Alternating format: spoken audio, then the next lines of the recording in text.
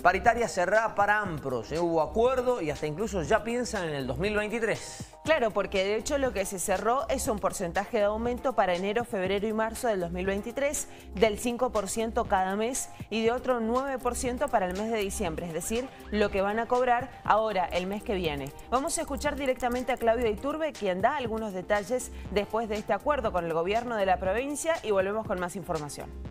Se votó por unanimidad la aceptación de la propuesta salarial que la llevaremos mañana a las 16 horas eh, a la paritaria que tenemos. La propuesta es una propuesta integral eh, que tiene un aumento al básico del 9% para diciembre para completar digamos la, inflación anual y después eh, propone ya un adelanto para la paritaria del año que viene del 5% en enero, el 5% en febrero y el 5% en marzo.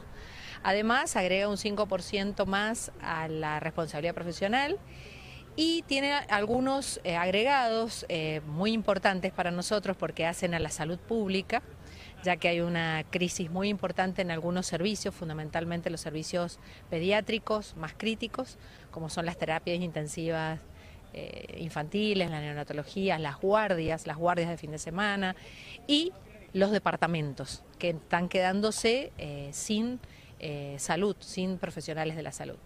Así que, bueno, está contemplada la guardia, un aumento del 100% en la guardia del fin de semana, más eh, la zona de promociones eh, para los distintos departamentos, que van desde el 50 hasta el 110%.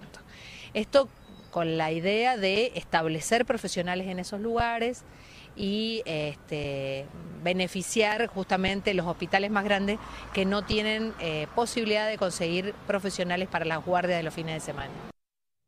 Bueno, parte de lo que ha sido una negociación este, corta, diría, ¿no? No, tampoco se demoró tanto. En verdad sí, porque se reunieron una vez, la propuesta fue rechazada, se volvieron a reunir otra vez con una propuesta mejorada por el gobierno y ya el gremio decidió aceptarlo después de haberlo bajado las bases. Son los afiliados los que optan por sí o por no. El gobierno se asegura de esta forma cerrar con uno de los gremios más importantes. Como decíamos el día de ayer, va camino también a cerrar con el SUTE, sobre todo por este bono de 20 mil pesos que han ofrecido y otras cuestiones más, porque en definitiva, más allá de los aumentos que implican un 9% en el mes de diciembre y 5% para los primeros tres meses del año que viene, hay mejoras en ciertos adicionales que dependen de cada una de las características de los sectores. Por lo tanto, de esa forma, el gobierno se asegura tener cerrada la paritaria, sobre todo en un momento en el que a los gobiernos, no solamente a esto, le interesa no tener tensiones. Cuando arranca fin de año, los gobiernos nacionales, provinciales,